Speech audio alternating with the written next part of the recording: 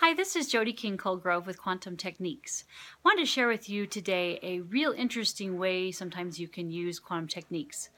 Um, we had a scare in our family. I was on a QT call after I had gotten my son home from school one day. And I, after being on the call about 40 minutes, I walked into our kitchen and discovered that our back door to our house going to the carport was completely open and I immediately felt, oh, where's the dog? and she was a puppy, and uh, we had just moved to this particular location, and I was desperately afraid that I was never going to have my puppy again. So, um, tried to kind of like take a deep breath as much as I could and um, called my son and we said, okay, we need to go find the dog.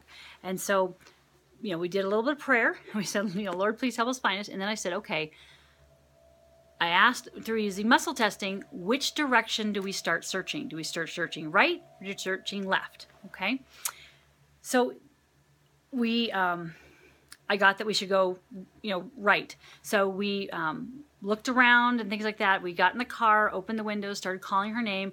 And so I went down to the block and I said, okay, should I turn right or go straight? I said, and I got to go right.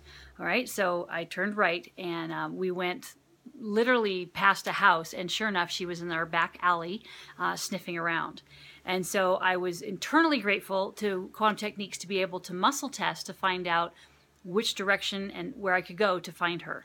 And so it's just a different way to use quantum techniques. Um, I have even tried to use it for, you know, finding objects or um, people have also used it for if there's a block in a line, like uh, for plumbing, you know, if there's a, a, plumbing issue, you know, where is it a block or obstruction in the line? Um, with quantum techniques, it's easy to test kind of a live person because like a dog where are they in a location um, but sometimes a little bit harder to test like an object like if you lose uh, like a bracelet you know because that doesn't have an energy of, of life in it. But you can also test yourself to find out when was the last time somebody's energy where, where the location was when they when that was off them.